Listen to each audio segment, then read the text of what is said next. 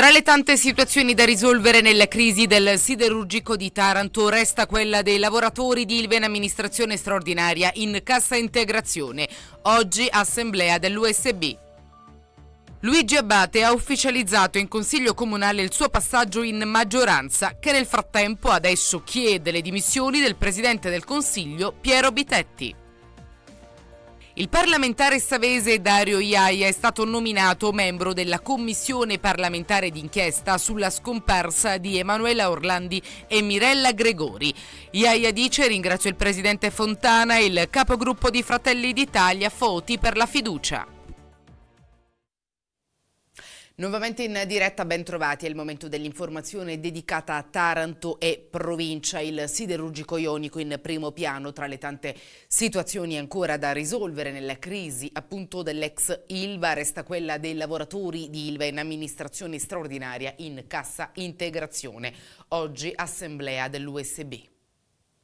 Ci sono anche loro, gli oltre 2000 operai di Ilva in AS in cassa integrazione, che avrebbero dovuto essere reintegrati in fabbrica nello scorso anno secondo l'accordo sindacale del 2018, poi modificato. Di loro si parla di meno, soprattutto dopo la nuova amministrazione straordinaria che ha riguardato Acciaieria d'Italia, ma anche per loro c'è l'urgenza di sapere cosa accadrà e la preoccupazione per il futuro. Temi al centro dell'assemblea convocata dall'USB all'Hotel Salina, con Franco Rizzo dell'Esecutivo nazionale e l'avvocato Mario Soggia, ufficio legale USB Taranto. E adesso chiediamo di fare un ragionamento e, e di emettere un decreto in favore dei lavoratori, in cui si parli di riconoscimento dell'amianto, di riconoscimento del lavoro usurante. È scandaloso che la siderurgia non rientri all'interno dei lavori usuranti.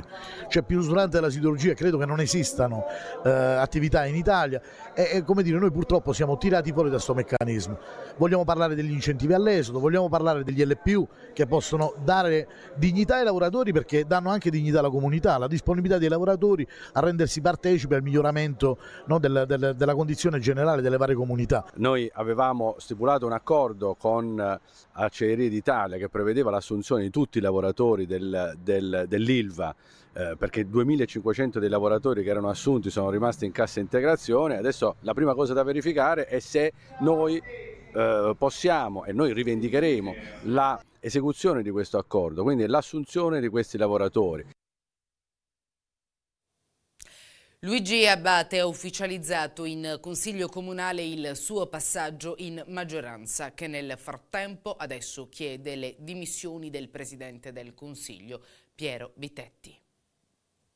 Il comune di Taranto ha di nuovo una maggioranza risicata ma ormai certificata dai numeri, 17 più il sindaco. Luigi Abate ha infatti annunciato in apertura di consiglio comunale il suo passaggio organico tra le file dell'amministrazione Melucci, come aveva preannunciato ai microfoni di Antenna Sud, una scelta fatta nel nome di un civismo che invece è stato considerato un autentico tradimento da parte di tutta l'opposizione. Ho appena eh, consegnato al protocollo una mia comunicazione con la quale eh, annuncio eh, il mio passaggio, formalizzo il mio passaggio in maggioranza. Il... No, no, no.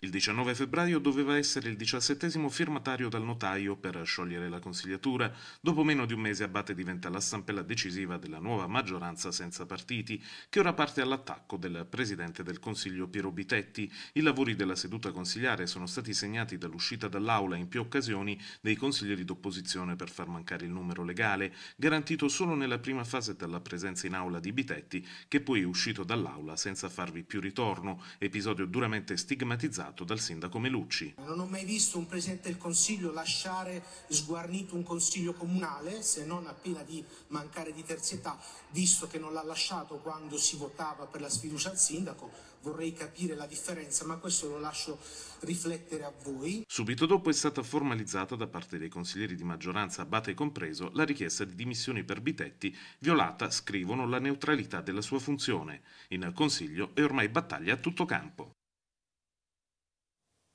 Rinnovo Consiglio provinciale a Taranto, da un lato le direttive di partito a sostegno dei propri candidati, dall'altro il sindaco di Grottaglia che afferma con la mia maggioranza in maniera condivisa abbiamo deciso di non votare. A Grottaglia i consiglieri comunali del PD Aurelio Marangella, Ciro Petrarulo e Francesco Donatelli sosterranno Lucio Lonoce nelle prossime elezioni per il rinnovo del Consiglio provinciale il 17 marzo. A confermarlo è Massimo Serio, presidente del PD Ionico, contattato telefonicamente. L'amministrazione grottagliese vive una situazione alquanto singolare, con i consiglieri PD seduti tra i banchi dell'opposizione e Aurelio Marangella, presidente del Consiglio. Cosa accadrà dunque nella maggioranza di Dalò?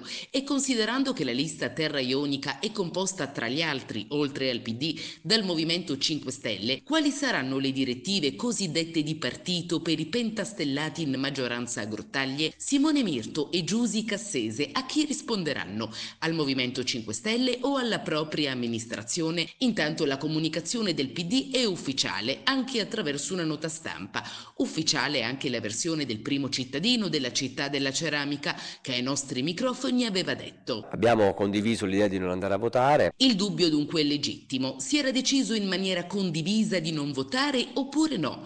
Equilibri che, come a volte accade in politica, potrebbero diventare precari. Non resta dunque che attendere il 17 marzo. Quello, tra presenti e astenuti, sarà il momento della resa dei conti.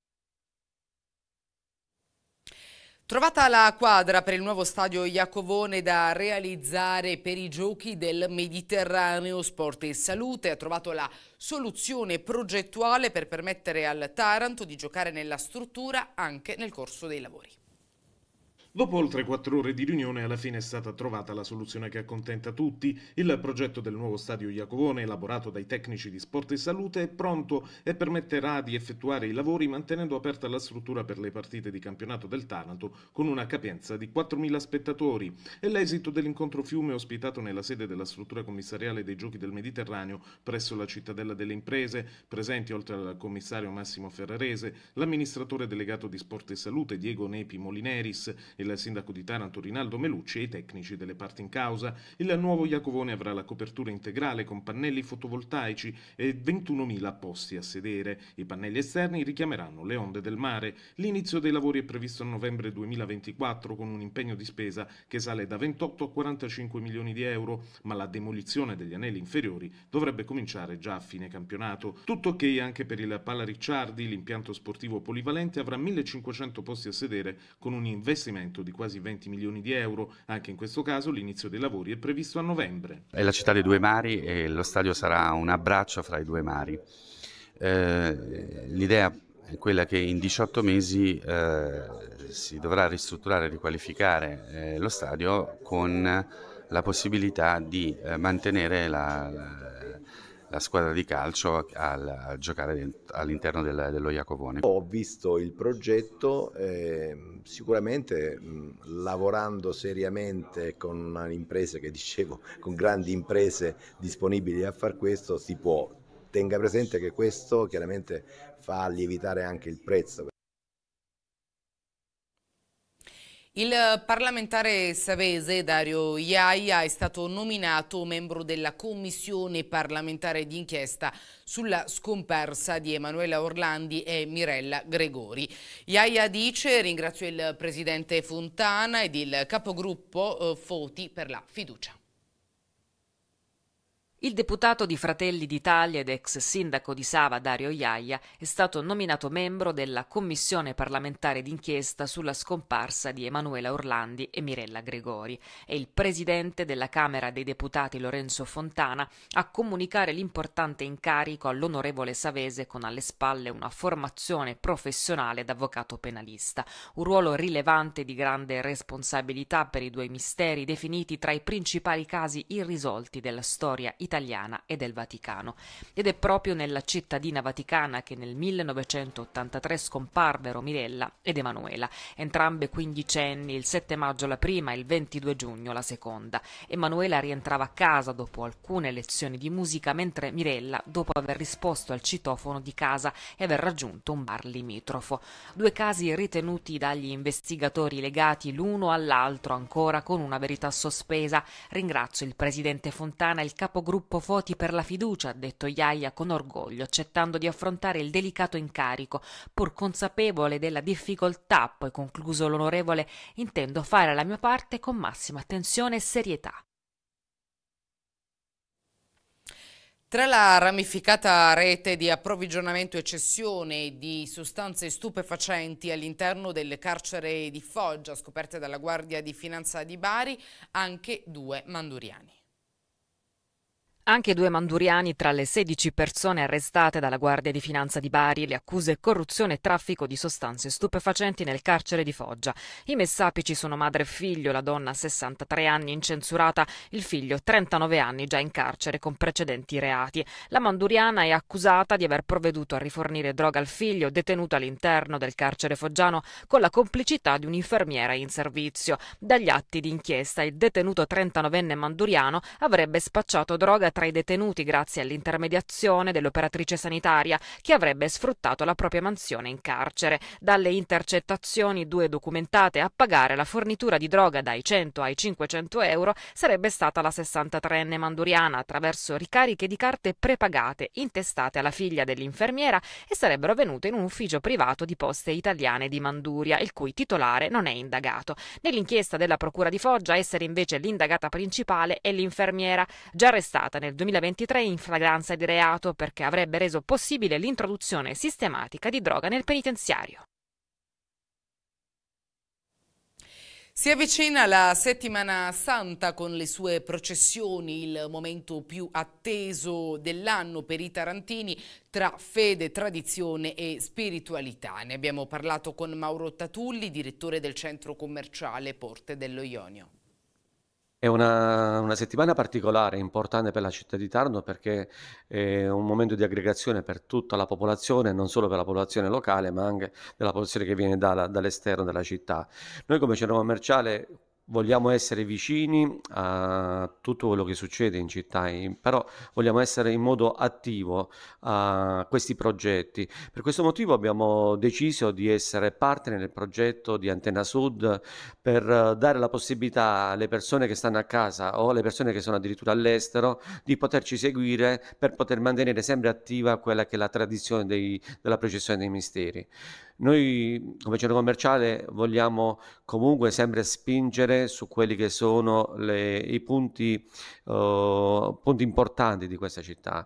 L'abbiamo fatto anche durante la costruzione e l'ampliamento del centro commerciale perché abbiamo, abbiamo, messo, abbiamo creato dei riferimenti uh, a quelli che sono le colonne doriche, al castello aragonese, ai marinai, alla ringhiera del lungomare, tutti quegli elementi caratterizzanti della città di Taranto l'abbiamo voluto in qualche modo replicare all'interno del centro commerciale, proprio per mantenere quella vicinanza e confermare sempre che Porto Lo Ionio è, è, una piazza della città, una piazza coperta, è una gora della città ed è aperta a tutte quelle iniziative che possono servire a far sviluppare uh, la città la socialità della città. Ed è tutto il TG dedicato a Taranto e provincia termina qui, ci fermiamo per qualche istante, tra poco. Un incidente ancora tutto da chiarire, quello che è costato la vita a un operaio brindisino all'interno dello stabilimento Gindal nella zona industriale. Proprio oggi avrebbe compiuto 37 anni. A Brindisi il materiale di risulta della pista ciclabile abbandonato davanti al tribunale e in molti pensavano fosse un cantiere. Mentre colline di rifiuti abbandonati con buste nere accatastate ci sono nel quartiere San Lorenzo di Francavilla Fontana, dove allarme sociale e sanitario. A Brindisi il primo appuntamento con tradizione e innovazione per le botteghe high-tech.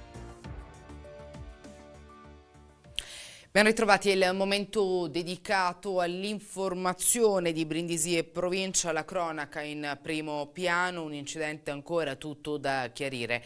Quello che è costato la vita a un operaio brindisino all'interno dello stabilimento Gendal nella zona industriale. Proprio oggi avrebbe compiuto 37 anni. Giovedì 14 marzo doveva essere un giorno di festa, da trascorrere con la moglie, le sue due bambine, i genitori. Avrebbe compiuto 37 anni. E invece il corpo di Gianfranco Conte è adagiato in una cella frigo dell'obitorio dell'ospedale Perrino in attesa che la procura disponga l'autopsia una decisione inevitabile. C'è tanto, troppo da chiarire sulla morte dell'operaio di Tuturano, dipendente della multinazionale Gindal, schiacciato da una pesantissima bobina di propilene e forse dalla stessa balaustra del carro ponte che stava manovrando. L'incidente è avvenuto all'interno di una delle aziende più importanti che operano nella zona industriale di Brindisi, ma non è il primo. Nell'agosto dello scorso anno un altro operaio negli stessi capannoni della Gindal perse l'uso di una mano stritolata da un macchinario. Travolto da un peso enorme caduto dall'alto, Conte ha riportato lo schiacciamento della cassa toracica, soccorso immediatamente e trasportato all'ospedale Perrino. Per lui non c'è stato nulla da fare. La zona dell'azienda in cui è avvenuto l'incidente è stata posta sotto sequestro dall'autorità giudiziaria che ha delegato la polizia per tutti gli accertamenti. Al lavoro anche gli ispettori dello Spesal per verificare se tutte le norme di sicurezza siano state rispettate e comunque per accertare in che modo modo sia avvenuta la tragedia. Gianfranco Conte era un giovane molto apprezzato nella piccola comunità di Tuturano, un grande lavoratore legatissimo alla sua famiglia. Il padre e il fratello possiedono una falegnameria e la moglie ha avviato da poco una lavanderia self-service. Meno di due settimane fa, in un capannone a poche centinaia di metri di distanza dalla Gindal, perse la vita Giuseppe Petraglia, 40 anni, precipitando dal soffitto mentre effettuava lavori di ristrutturazione per conto della sua azienda. Rabbia e voglia di risposte concrete da parte dei sindacati dopo l'ennesimo incidente sul lavoro che ha portato alla morte di un operaio brindisino.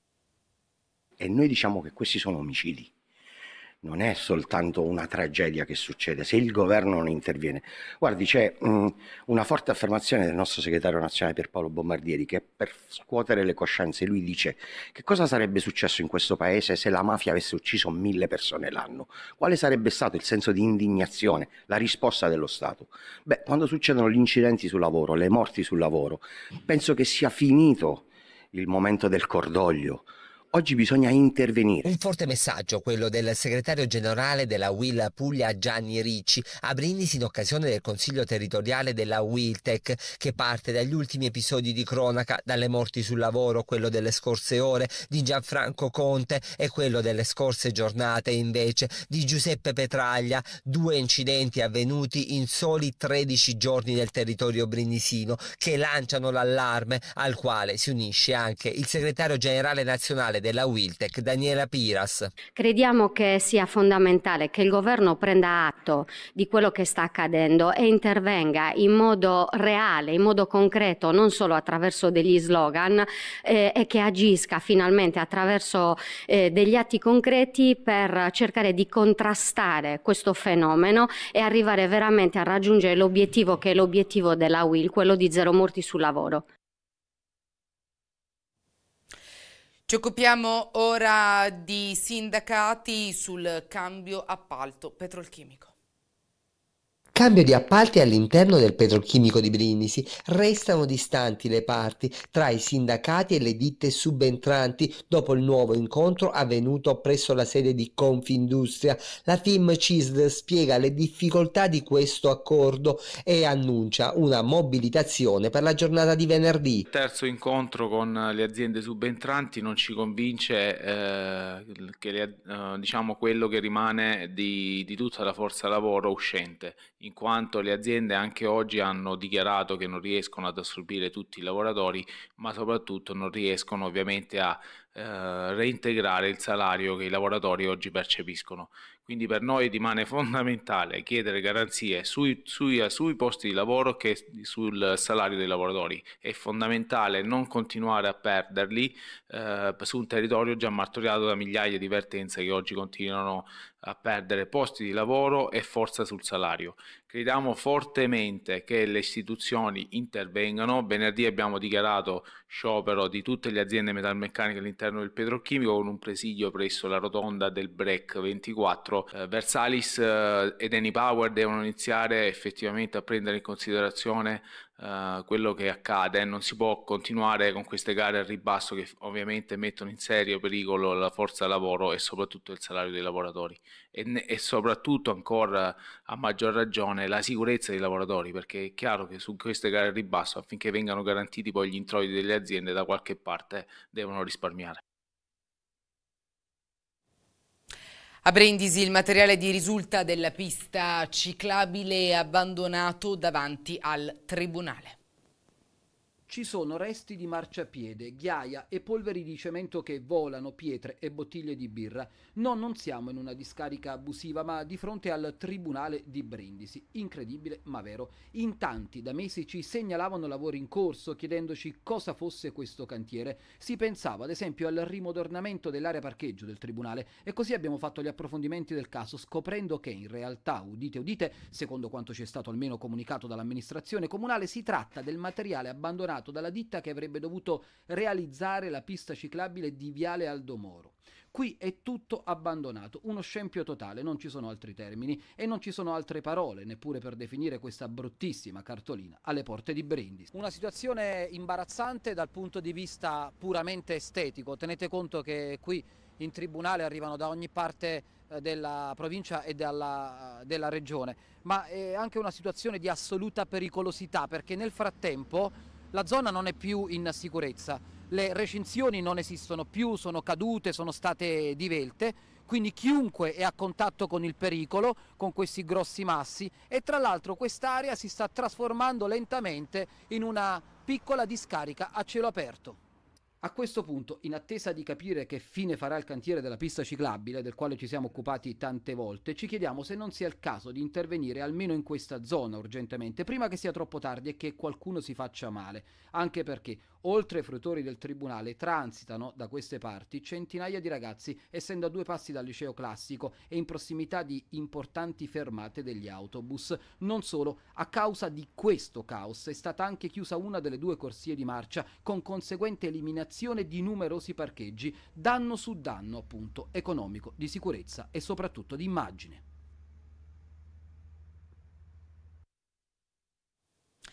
Colline di rifiuti abbandonati con buste nere accatastate nel quartiere San Lorenzo di Francavilla Fontana dove è allarme sociale e sanitario.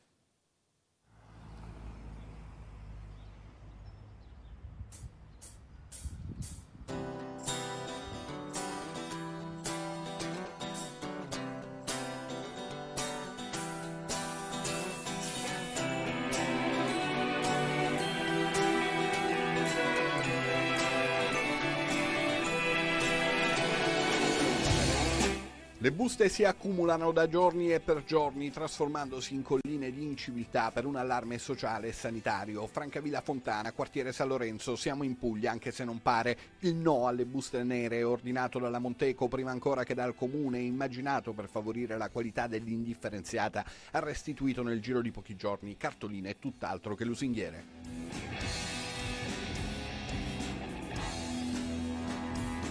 E se nel centro abitato capita di imbattersi in una busta nera abbandonata ad un incrocio nel popoloso quartiere periferico, il fenomeno ha assunto dimensioni catastrofiche. E se c'è chi pensa che la colpa sia tutta dei residenti, c'è chi da una vita nel quartiere racconta tutta un'altra storia. E il moce di Pighe e Porto la disse. Io ci vedo in casa della sala busta di Munnezze quindi vengono qui e buttano le immondizie. Eh. Quindi non sono solo di chi No, la cicca plasmano la, la busta di immondizie. Insomma, le ipotesi su quanto sta accadendo sono tante. C'è una certezza, così non si può continuare. Tra panchine scassate, strade logore, tra verde pubblico abbandonato e sogni di rilancio ancora abbozzati, nessuna accusa, solo il racconto di una grande vergogna.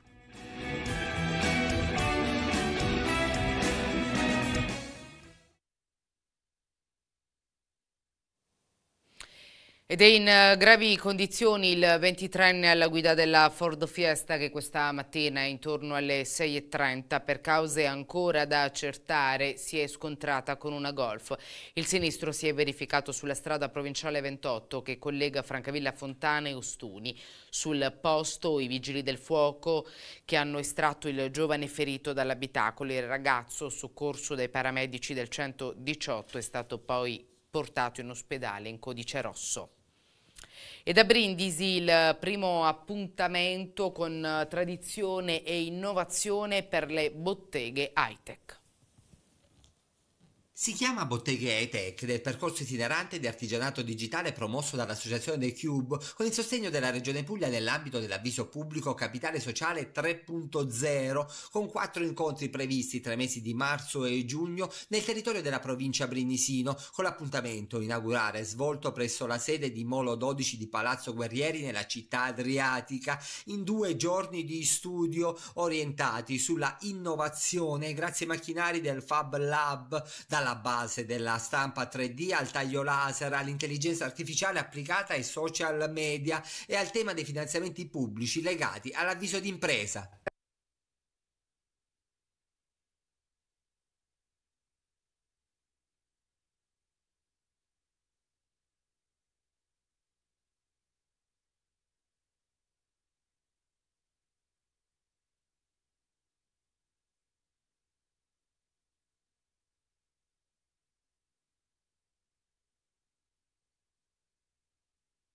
Si chiama Botteghe digitali, in particolare appunto creando eh, nella due giorni occasioni e eh, momenti di diffusione di conoscenze su avvio di impresa, quindi autoimprenditorialità, stampa 3D e taglio laser, associate anche a momenti di fundraising per aiutare gli artigiani e gli aspiranti tali a sviluppare dei progetti imprenditoriali e anche a comunicarlo sugli strumenti digitali. Eh, tradizione e innovazione ormai è necessario che vadano a braccetto per creare eh, opportunità sul territorio e coinvolgere anche eh, quelle fasce delle popolazioni eh, cosiddette svantaggiate che sono rappresentate da NIT, soggetti inoccupati, disoccu- disoccupati, eh, immigrati e anche eh, donne, per eh, creare nuove opportunità per il loro futuro, a prescindere dall'età.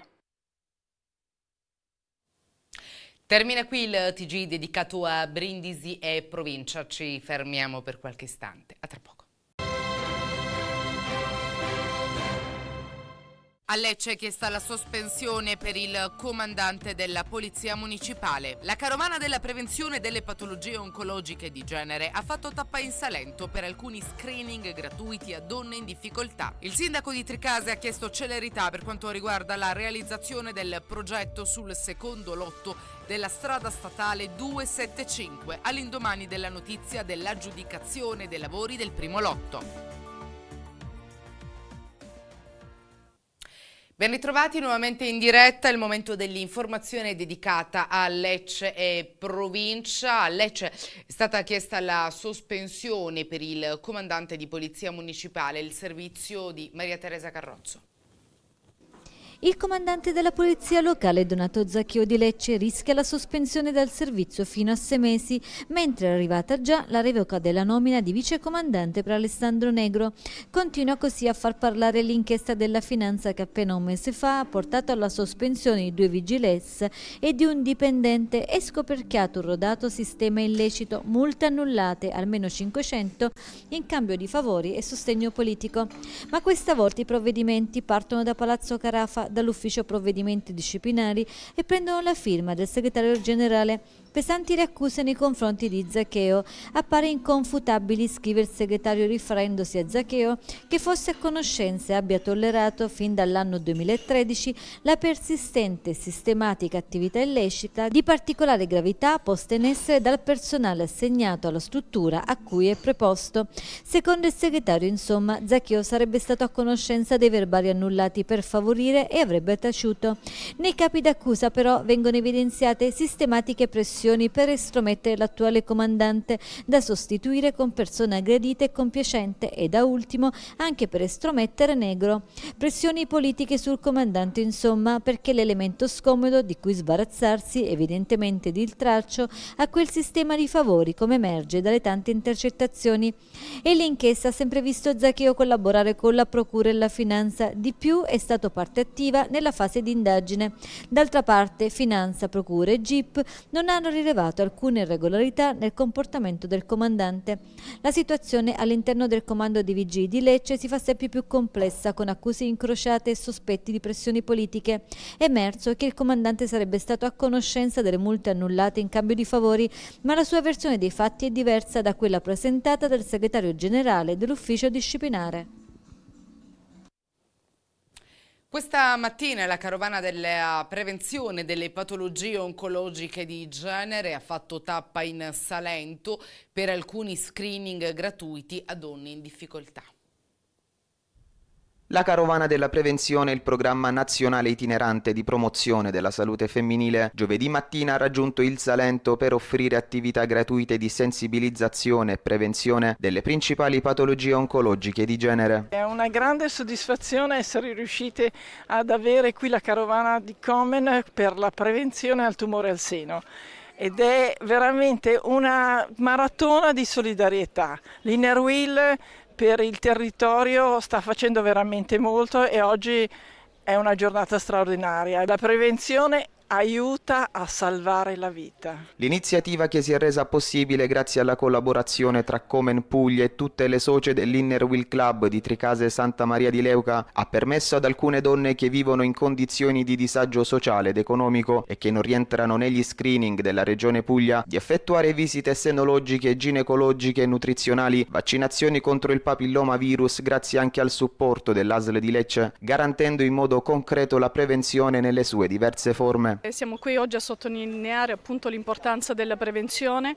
per quanto riguarda i tumori ginecologici, che sono principalmente il tumore al seno e i tumori sul collo dell'utero proprio perché la prevenzione ci dà la possibilità di agire appunto in tempo e prendere le situazioni ovviamente in uno stadio iniziale e garantire alla donna uno stato di sopravvivenza ovviamente lungo e risolvere completamente il problema. Quindi la prevenzione è diciamo, una arma fondamentale che noi abbiamo contro i tumori femminili, quindi utilizziamola.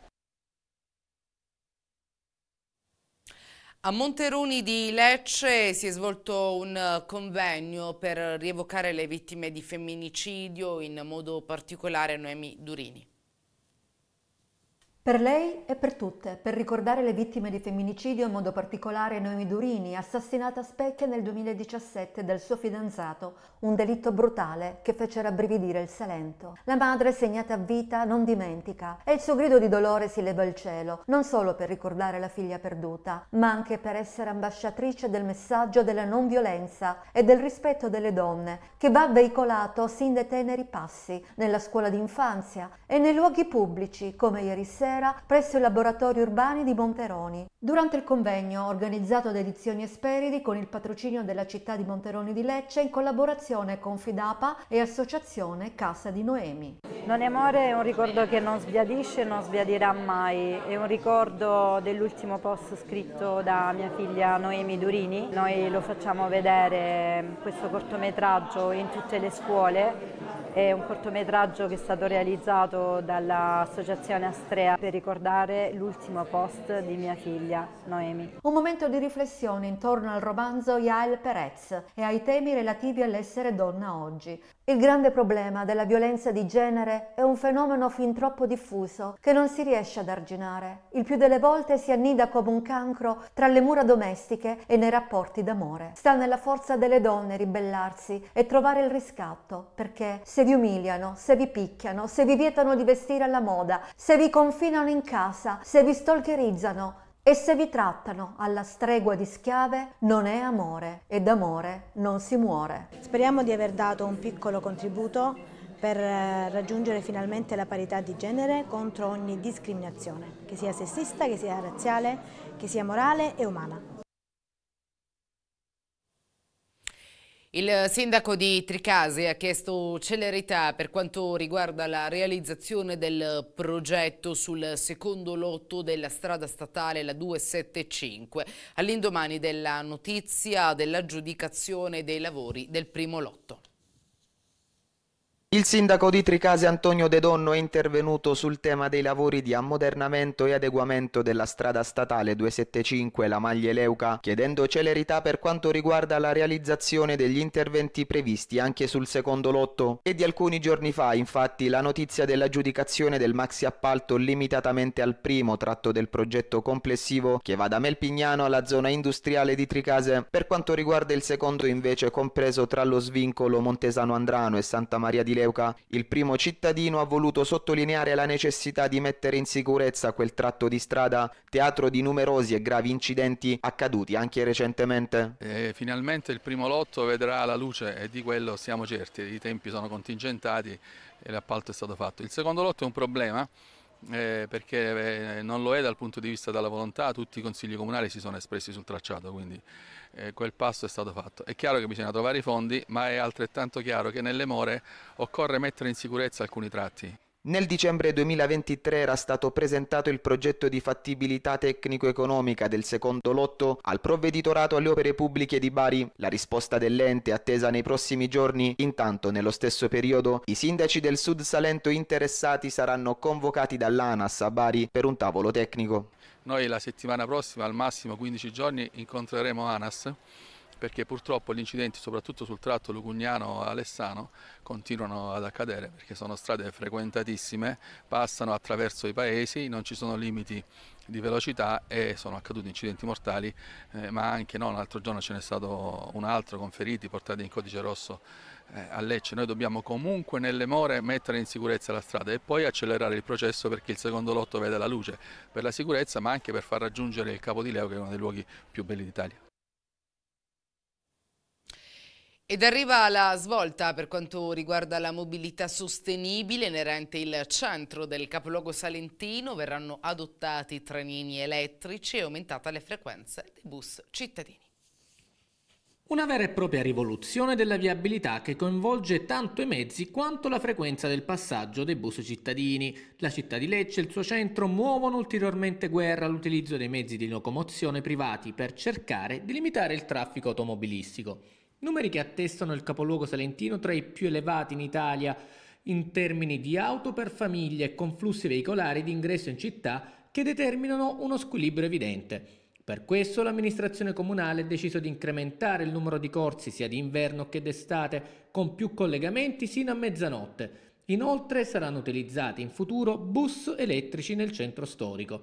Ad esempio, l'orario invernale dei bus sarà esteso passando dall'attuale fascia oraria 7.21 e quella futura 6.22, il sabato fino alle 24. Frequenza quella del sabato 6.24 che durante il periodo estivo sarà mantenuta per tutti i mesi della bella stagione.